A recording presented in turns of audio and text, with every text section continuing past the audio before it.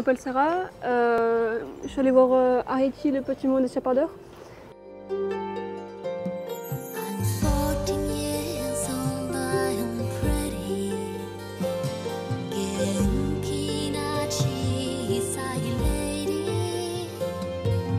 Je m'appelle Zayed, euh, c'est pour parler du film Arietti.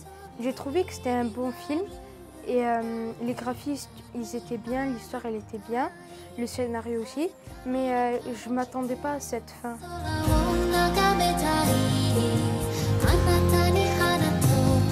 J'ai déjà vu, mais euh, voir sur grand écran au cinéma c'est toujours différent. Je trouve qu'on ressent plus les émotions. C'était très bien, sauf que une situation, j'avais eu peur que la dame, les, les, eux qui dératissent les rats et tout, mais ils viennent et ils attrapent la dame. m'a plus touché que quand je l'avais vu sur mon ordi. et euh, c'est toujours aussi mignon euh, les films Ghibli et voilà, c'était inspirant.